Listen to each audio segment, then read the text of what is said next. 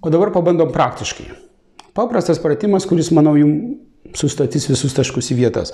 Pagrojam tokį ritmą. Tam, ta, ta, tam, ta, ta. Na, pirmas ilgiau skamba, tai gaunasi 1, 2, 3, 4.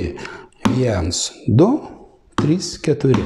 O jeigu jūs norite išmokti groti gitarą ar padobulinti savo jau turimas žinias ir nežinote, nuo ko pradėti ir kur rasti visą gerai susistemintą informaciją, pristatau knygą Grokime gitarą kartu, kur rasite viską, ko reikia.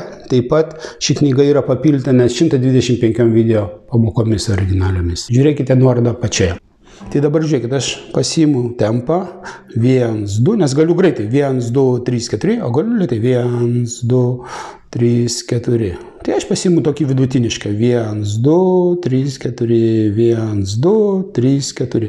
Ne, aš prabraukiam 1. Ir kadangi skambėjo ilgiau, tai aš grįžiau tuščia eiga, kaip pasakau, neliesdamas tik 1, 2. Ir ji praskambėjo dvi dalis, ilgai 1, 2, o dabar 3, 4. Skambėjo greičiau, reiškia, aš jau 3, 4 iškart grįžtu. Ir gaunasi 1, 2, 3, 4. 1, 2, 3, 4.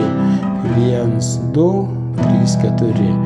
1, 2, 3, 4. Kaip matot, Aš rankos nesustabdžiau, kada grojau 1, 2, 3, 4, 1, 2, 3, 4. Ranka visą laiką dirbo, davė tempą.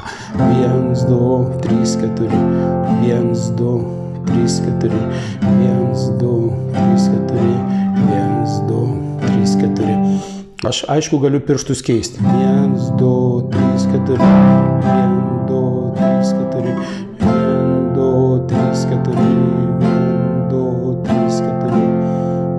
tuos keturis judesius nepamirškite. Vienas, trys, keturi.